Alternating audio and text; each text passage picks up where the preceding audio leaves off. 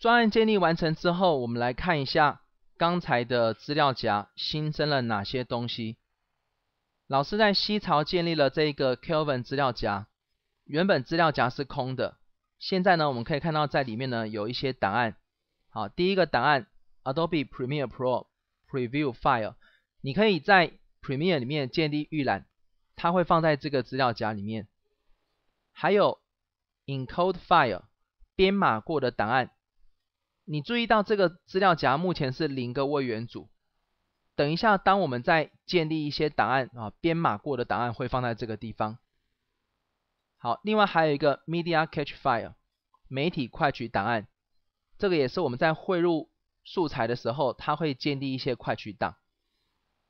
最后一个就是我们在刚才储存档案的时候所建立的专案档，它的档案格式呢是 PRPROJ。请注意，这个档案其实并不会很大，因为你汇入的视讯呢，还有声音呢，并不是储存在这个资料夹啊，并不是储存在这个档案里面。这个档案只是记录了你在这个专案里面使用了哪些素材，以及它的路径、原始的储存路径，还有剪辑呃剪辑点索引的位置而已。所以这个档案其实它并不是很大。真正大的答案呢，我们是像影片这样的素材。好，好，我们现在看一下怎么把图片、视讯等等的素材汇入进来。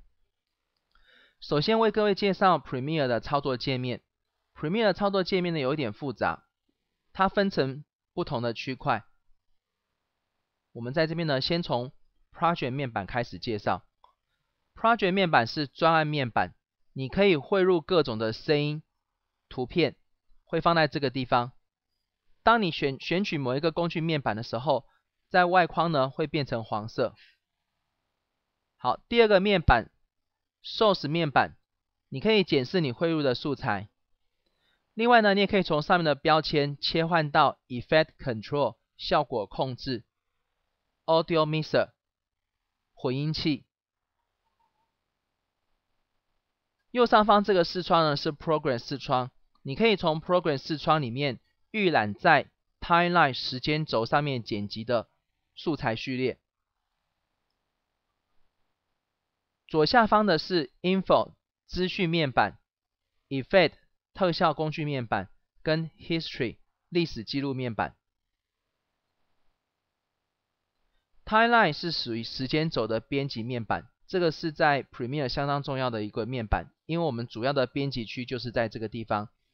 我们可以将 Project 面板汇入的素材放到 Timeline 面板中进行呃非线性剪辑。另外呢，你可以看到在这个地方有一个声音的指示，还有底下呢是工具箱。好，接着我们看一下怎么把素材汇入进来。我们先切换到 Project 面板，汇入素材呢有几种方式。第一种是点选 File，然后再选择 Import，然后在这个地方呢，你可以选择资源的档案。好，老师在桌面上已经放了一个视讯档，我现在把它汇入进来，点选开启旧档。这样呢，它就会出现在这个地方。好，我们再汇入其他的素材啊，在我们的 Windows 作业系统有一些范例图片，我们在这边点滑鼠右键，在弹出选单选择 Import，也可以汇入档案。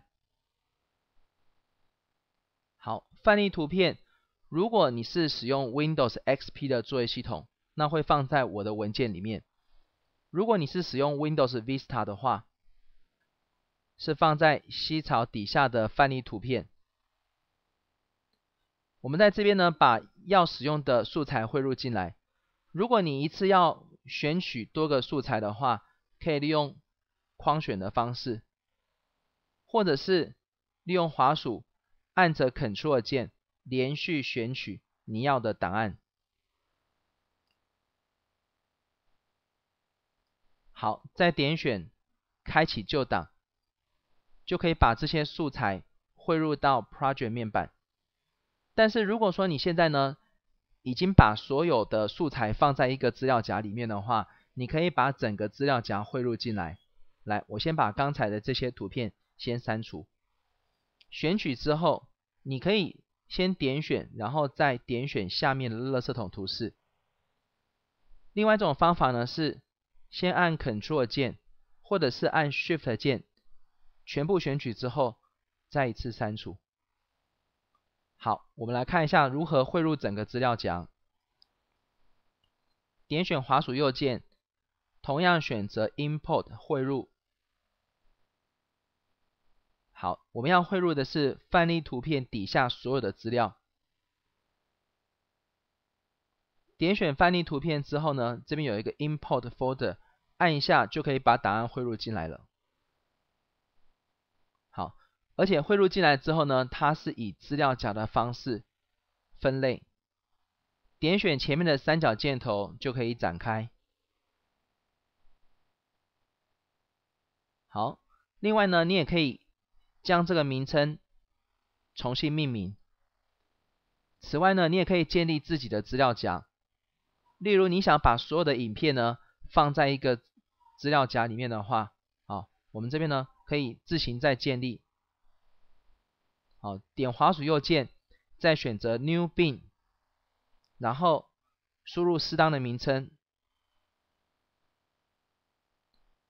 例如输入影片，然后把这些影片呢放到这个资料夹里面，好，完成素材的分类。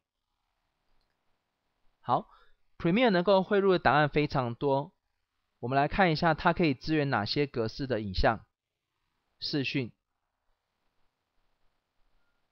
档案类型里面，我们可以看到它可以汇入的包括什么呢？视讯档，例如 AVI、MOV，还有 WMV，啊，这些属于视讯档。图片档的部分呢，它可以支援向量图形格式。AI 档，啊，点阵格式的档案呢，包括 GIF，啊，JPG，还有 PNG、TIFF 档、TGA 档。声音的的格式呢，可以支援 WAV 档，啊，还有 MP3。OK，好，所以呢，它能够支援的档案格式非常的多哈，甚至呢，也可以把 After e f f e c t 专案档直接汇入。以上呢是为各位介绍答案汇入的方法，请各位练习一下。